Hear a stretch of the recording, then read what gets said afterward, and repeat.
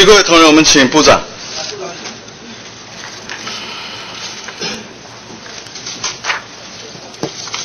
戴委员长，部长您好，这个我跟您请教一个，这个我一直在关注的案子，就是我们博爱分案的这个这个承包商的问题啊。那么因为这个案子，这个退辅会转投资的这融电公司也倒闭了啊。那么博爱分案，你们现在又完成了新的这个招标，是您知道这个监察院对这个案子有提出过纠正，是那么行政院也答复了。行政院在今年六月二十二号，以院台房字第一零一零零二五二零五号函文答复监察院。那么行政院的答复其实是国防部做的报告，对不对？我们把我们目前的执行的状况，好。像所以您看过这个报告？是。这个报告里面呢，因为监察院的指责呢，认为说你们这个国防部啊办理这个档案室恒温恒湿设备啊等等这些啊，除了支付建筑师费用、服务费用三千六百五十七万余元未获应有效益之外，又耗费行政资源，然后还要增加施工厂商因为停工劳务损失赔偿要一点三亿，鲜有为师啊。那么你们的回答是这样，你们说经检讨，因为张作杰建筑师事务所，那么因为他设这个是设计单位啊，对机电跟空调设计整合能力及作业人力不足啊，所以造成整个工程延宕，对不对？这六月二十二号啊，行政院给监察院的一个答复。那您知道你们现在这个新的工程完成招标之后，这个设计单位是哪一位建筑师事务所吗？还是原来的事务所？还是原来的事务所？对。所以你们在六月二十二号发函告诉监察院说，这个责任通通在这个这设计单位，通通在这个建筑师。然后你们在六月二十一日啊，在你们答复的前一天，用限制性招标指定给这个张作杰建筑师事务所继续来负责不爱分案的善后的工程。所以，因为建筑师的能力不足，所以造成我的工程延宕。我不但要赔给这个承商，我还要被监察院纠正，而且我也告诉监察院说，是因为他的能力不够。然后我为了要善后，要解决因为他的能力不够所造成的问题，我继续用限制性招标，我指定给他继续来这个能力不够的建筑师继续来为这个工程善后。就在行政院答复监察院的前一天，啊，这怎么回事啊？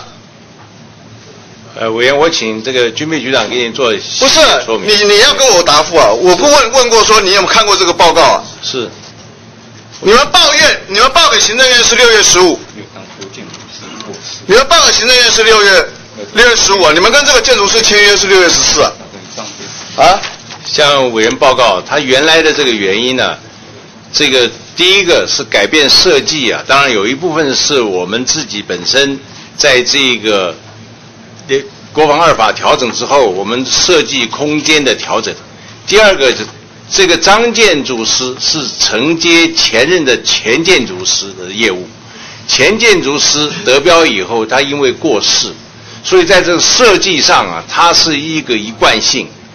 但是现在的这个执行上，如果如果建筑师再重新改变，可能对这个建设性的招标来讲，会产生更多的问题。所以我们为了要让这个工程可以延续，我们还是让原来的建筑师来负责这个，因为他只是设计监造。那我再跟您请教，是这个不爱分案最近什么时候完成招标？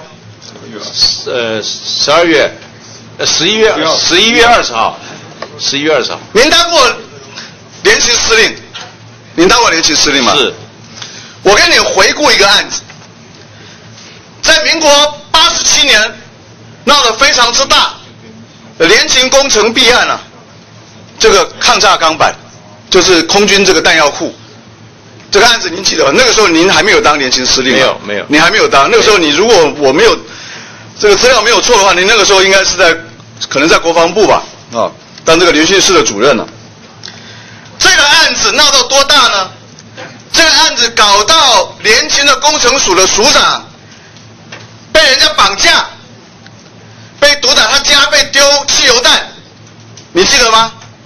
搞到一个这个国防部军务局的局长刘学达中将被收押，搞到联勤工程署的署长沃基高少将被收押，被起诉，被判刑。后来是因为沃基高少将啊，一审判决有罪之后，他就过世了，所以这个案子其实就没有再下去了。但是刘学达中将也因为这个案子被监察院纠正，这个监察院的纠正函啊，其实讲的非常之不堪。这个包括为女朋友买车，包括这个厂商啊招待，包括为他女朋友买车，包括等等啊去酒店。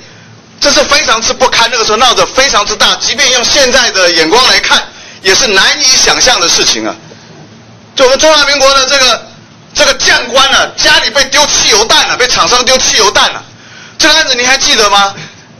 我有印象。你有印象？那个时候啊，我相信我们张伟啊，那个时候也在国防委员会了啊。这个商买公司他下了好大功夫，他为什么不甘心呢？他为什么要去做这件事情呢？因为他觉得他都已经花了成本了，为什么得标的不是我？你还记得得标是哪一个厂商吗？我不记得。得标的厂商叫做国灯营造，一九八七年，国灯营造这个这个这个空军弹药库，他得标了。国灯营造得标了，闹得这么大。你觉得生百公司花了这么大的成本没有办法得标？其实检察官那时候就认定，是因为国灯营造，是因为这些为什么这些军官被起诉？是因为他们把这个这个招标的资讯呢泄露给了国灯营造。好，你记不记得？你知不知道另外一个案子？在两千零一年，十一年前了。涉及中正机场二级航站的郡国建设负责人叫陈帝国，他另外有涉及一个案子，是国立东华大学理学院新建工程，他跟黑道分子围标，然后围标之后呢，这个得标的厂商还把这个五千万呢汇到这个黑道的这个这个这个帮派老大的这个户头。这个得标厂商叫什么名字？你知道吗？叫国灯营造。国灯营造涉及参与我们空军弹药库的投标，得标了。在这个过程里面，一个得标，一个没有得标，两边其实都用了不正当的手段。然后，二零零一年的东华大学。的这个围标案得标的也是国灯营造，检察官也很明确的查出，这个国灯营造把五千万这个收银压坑啊，搓原子汤的这个钱呢，汇给了这个主持围标的这个黑道分子。那你能不能告诉我，我们上个月得标的，我们博爱分案的这个得标厂商叫什么名字？陈安心。科技有陈安心跟国灯营造是什么关系？你知道吗？是同一家公司啊！你登入国灯营造的他的德灯营造公司的官方网站，你就可以看得到，他跟陈安心是同一个集团、同一家公司了。但是他现在把这个同一家公司的关系，他把它拿掉了，因为被批评了。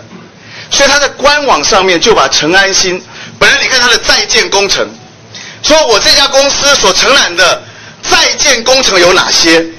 他有国灯营造，有陈安心，都有。东华大学的工程他也还在做，结果呢，被人家批评之后，他就把陈安心拿掉了，此地无银呐！你们都不知道吗？啊？国灯营造现在他承揽的包括南投国道六号的交流道弊案，那个时候包括本委员会陈廷飞委员都开着记者会，为什么？因为他交流道施工架崩塌，他们就很明确指出，国灯营造承揽公共工程有十二项，过去曾经有十二项重大的公安记录，我们政府没有处理啊，那他可以继续承投投标公共工程，也没有人答复啊，同一家公司，现在你知道高架这个这个这个这个这个五羊段，五羊段也是国灯营造，它有一标，对不对？所有的得标十几标里面，它最落后。你问国道公共工程局，他说因为这个厂商能力不好，因为这个厂商他没有办法现场监督做的很差，所以人家完成八十几趴、九十几趴，他只完成七十二趴，最烂就是他。这是国道公共工程改建工程局的答复啊。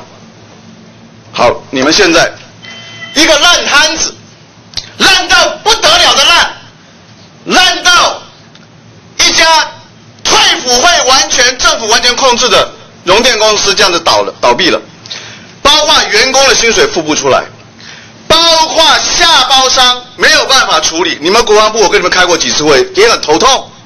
好了，现在为了要收拾这个烂摊子，重新招标。现在这些下游厂商听说是国灯营造得标，他们通通放弃啊，不敢跟他做生意啊，因为我们国道在高雄那个工程，那个叫做货柜专用的这个这个这个匝道，货柜车专用的，剪彩之后，包商在那边拉布条抗议，为什么领不到工程款？我们政府的钱给了国灯，国灯没有给下包商，他们如果继续来做的话。会不会雪上加霜？本来融电的工程款已经拿不到，你现在标给国灯，我再继续来做，我融电的钱拿不到，我国灯的钱也拿不到，记录非常之差、啊。工厂现地的管理，对下包商的的的负责，的手段，他为什么可以得标？因为他公司找了一个你们国防部自己人嘛，你自己去查查看，现在谁在他公司？我不要点名了，你们自己我不晓得知道不知道，你查查看，你怎么处理？得标了你怎么处理？我想一切依合约嘛，如果有有弊端，我们就按规定做。有弊端你们按规定做。现在现在我们所按照所有的招我特别点出你们过去联勤发生的弊端，他神通广大，他现在继续啊，过了十几年，他继续承揽工程啊。每一个他曾经参与的工程，通通出事。我坦白讲，部长，你如果有心，请你去调查这个招标过程有没有问题。他找了谁在他公司里面负责这个案子？我再一次讲，你们国防部自己的，谢谢。